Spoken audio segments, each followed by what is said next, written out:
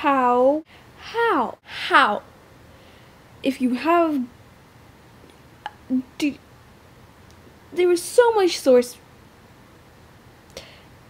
the source material was better than this movie, The Sleeping Beauty. Unfortunately, the movie's off to a rough start, with a short but boring introduction. This movie seems to have scattered random scenes throughout the entire flick, but there's not there's not too many, so it's not a great distraction. Some of the characters' relationships in this movie seem to be in the dark, leaving us with no explanation to what their relationship is. This could have been done in the movie's favor, However, in this case, it's just plain irritating. Some of the movie's characters aren't well explained, and again, despite the potential here, it's not done to the movie's favor. The majority of the characters aren't consistently on screen, with the exception of the main character, Anastasia, who is certainly interesting to say the very least. The effects in this movie range from surprisingly nice to fairly decent. Some of the transitions between scenes are, tiresomely confusing.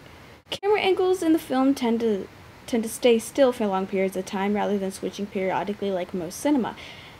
However, it does not distract from the story.